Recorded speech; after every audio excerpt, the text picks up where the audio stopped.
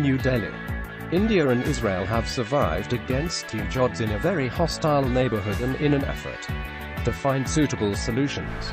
The two countries will jointly explore using space technologies as a countermeasure to thwart the menace of terrorism while also meeting the civilian applications of space.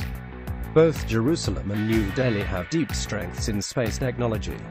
Born within the same year, both have to spend massive amounts of money to secure the borders from the neighbors.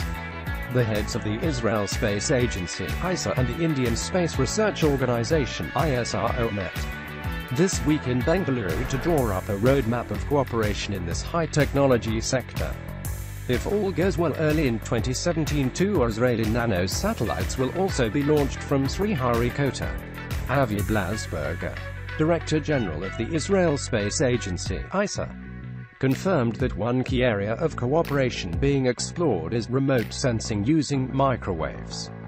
This is essentially a technology where special birds called radarsats are deployed that have the built-in capability of day and night surveillance and these eyes in the skies can even see through overcast cloudy skies giving the enemy little room to hide. In common parlance, this sophisticated technology is often termed as spy satellites since one can keep a track of one's enemy 24 by 7 in all weather conditions. It is no secret that both Prime Minister Narendra Modi and his Israeli counterpart Benjamin Netanyahu have a mutual fan club and both have respect for each other's styles of governance.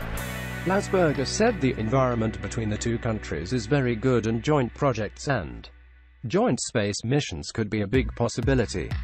Israel has some of the best radar imaging technology and in 2008, India launched on behalf of Israel a satellite called TecSAR.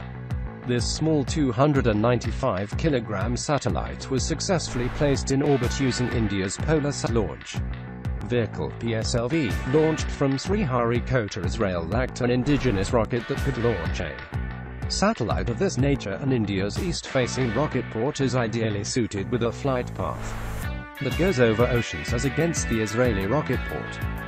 This TecSAR reconnaissance satellite has the capability of mapping object at a resolution of less than a meter from its perch some 500 kilometers above Earth.